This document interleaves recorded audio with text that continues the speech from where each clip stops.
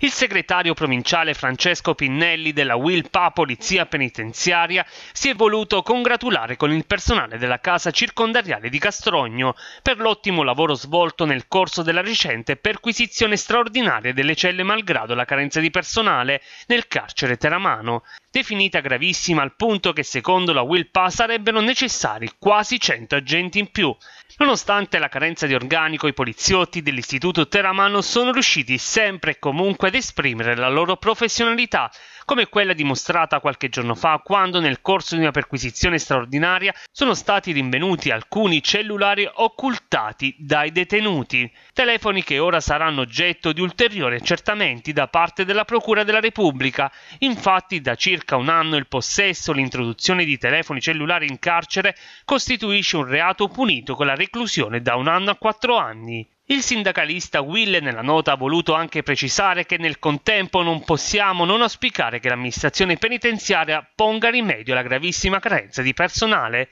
Non è più possibile pensare con l'utilizzo dello straordinario si possa compensare la mancanza di uomini, in special modo in un carcere a gestione complessa come quello teramano, dove convivono detenuti di alta sicurezza, detenuti comuni e detenuti cosiddetti protetti. Secondo Pinnelli l'attuale carenza di personale sulla carta sfiora le 50 unità, ma nella realtà ne occorrerebbero quasi il doppio per una corretta gestione dell'istituto e soprattutto per garantire i diritti dei lavoratori. È sempre notizia di questi giorni che ad alcuni poliziotti sarebbero stati revocati i giorni di ferie senza alcun preavviso e la Wilpa Polizia Penitenziaria ha già chiesto urgenti chiarimenti al direttore dell'istituto.